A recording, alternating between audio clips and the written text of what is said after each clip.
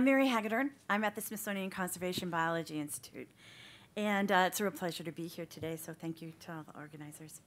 Um, I, I first started thinking about the Earth um, in grammar school because we would watch early space explorations on television in grammar school. And I actually never really figured out how this worked because it was an inner city Catholic grammar school that barely had money for gym and lunch, as far as I could tell.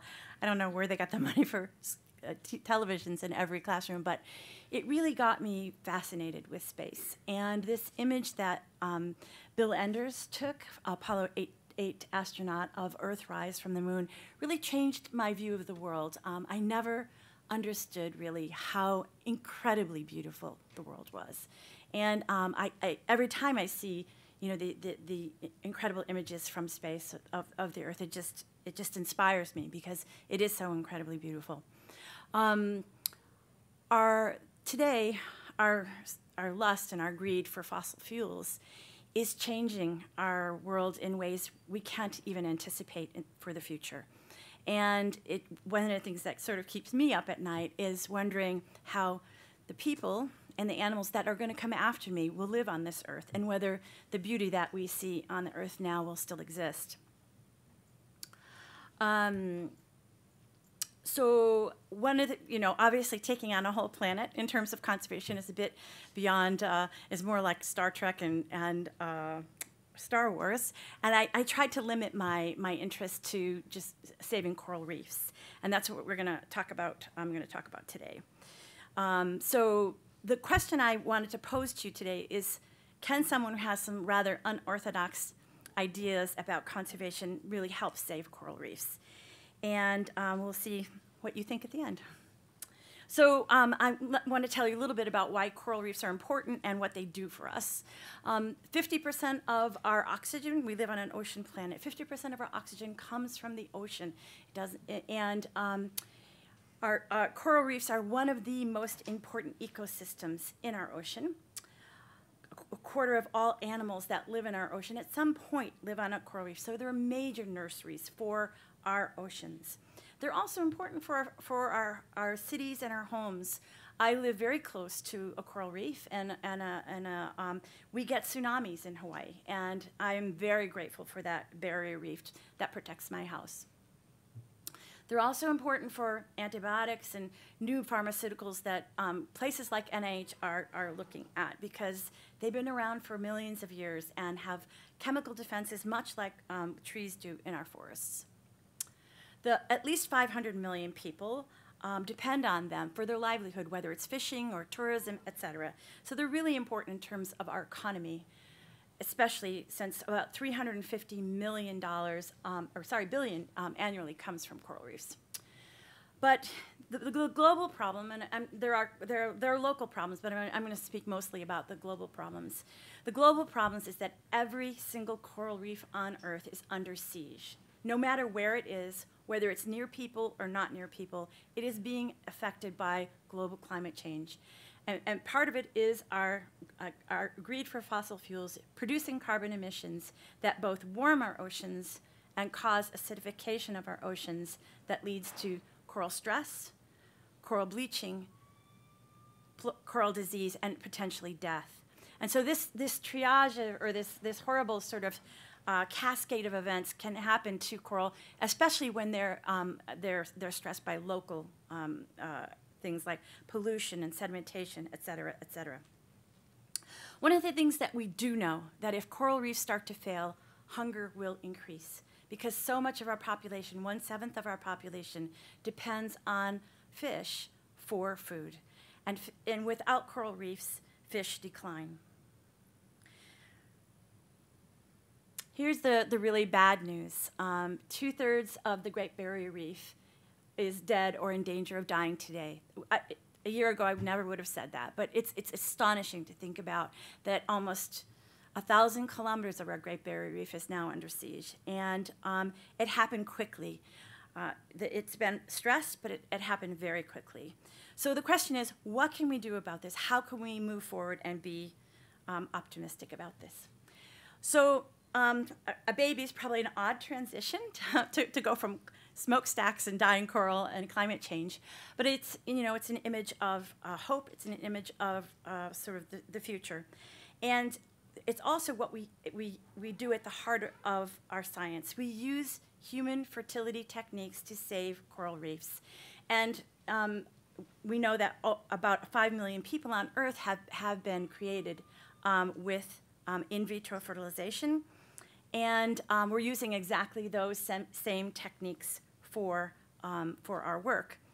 Now, when you look at, um, at cryopreservation or the freezing of um, human gametes, it started out with sperm, because sperm is relatively small and easy to cryopreserve.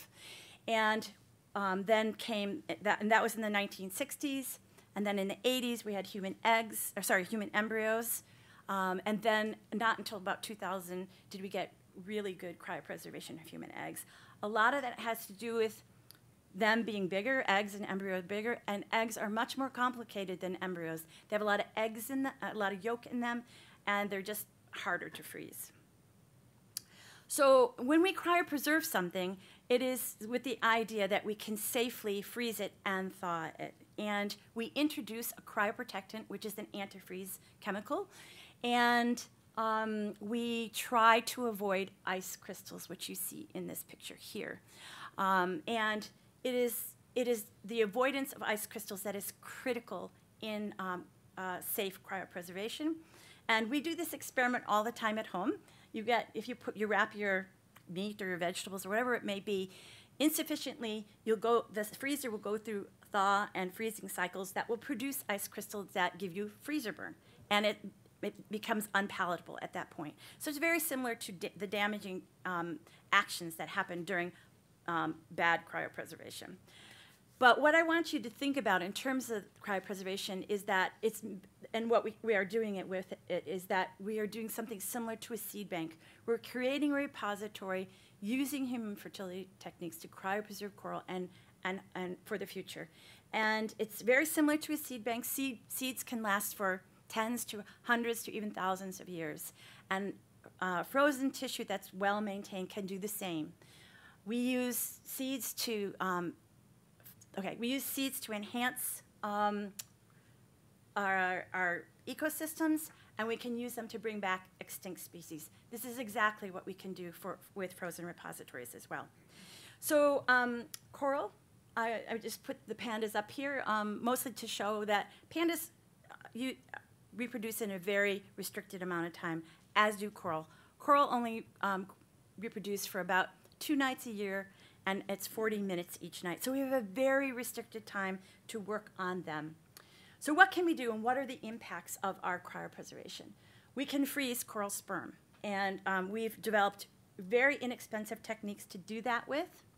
We can take that sperm, we can thaw it out, and we can create new coral. You see um, some uh, uh, on the left is from fresh sperm, on the right um, from cryopreserved.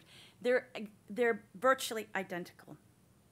And now we've banked over 16 species from the Caribbean, Hawaii, and the Great Barrier Reef. And we know that if we can take 35 individuals, we get 90% of the genetic diversity in that area.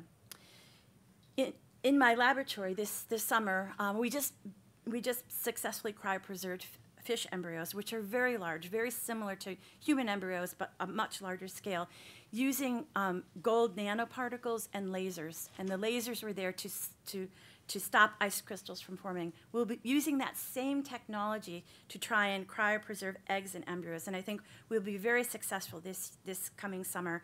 These are the kind of techniques that people want to use if they're going to be doing um, hybridizations, um, selective breeding, and doing um, extensive genetic work. They want to be able to mix and match sperm and eggs. The thing that's happening right now is that uh, bleaching is, is impacting reproduction, and it is it is decimating the, the future of our coral and our coral being able to adjust to new conditions. Um, so we're taking a slightly different tact. We're not, we're, we're trying not to focus on reproduction over the next three years because in the last year, all of our efforts in, in Moorea and over reproduction is, have ended up in, with zero. We got no reproduction um, in, over this last year. So we're, we're, we're now freezing the algae inside the cell, inside the coral, which are called symbiodinium, and we've successfully cryopreserved those and hope to make a global uh, bank for those because these make help control um, the resiliency of the coral. We're working with Ken Nedimyer um, and creating offshore nurseries. Um, and he, he um, started these in Florida. We're putting them in, in um, Hawaii and Moorea. This is what they look like today. They're no longer just these cement blocks. Uh, but these nurseries are causing corals to grow faster, and they're reproducing enormously in these nurseries. So they're really an, an extraordinary tool, and we're making them for Moorea. But then finally, we're working with Mote Marine Lab and Dave Vaughan there, and they're making these tiny little microfragments. And um, the microfragments, we can get them down to one polyp. We've already successfully cryopreserved fragments of coral. We need to enhance it and make it so that it's, it's conservation ready. But we hope to, to put these, these microfragments, grow them out quickly um, on the coral trees. So we're going to be putting both reproductive material and these microfragments. If we can get the microfragments to really work um, in terms of a conservation practice, we will no longer be hemmed in by two days a year. We can, we can go through the, the, the um, reefs quickly, identify the number of individuals that we have and know the genetic material that we have. And we can train people very quickly to do this. So I, we think that this is going to be a really amazing tool for um, successfully trying to maintain the biodiversity of reefs.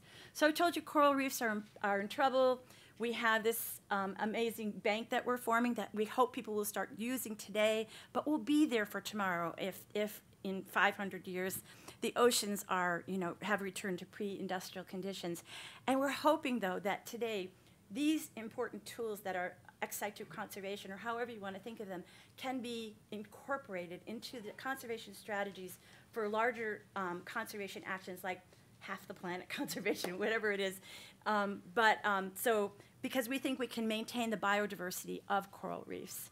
So I'll leave you with this um, quote from E.O. Wilson, but I think it's the heart of everything that we're doing, and acknowledge my funders. Thank you.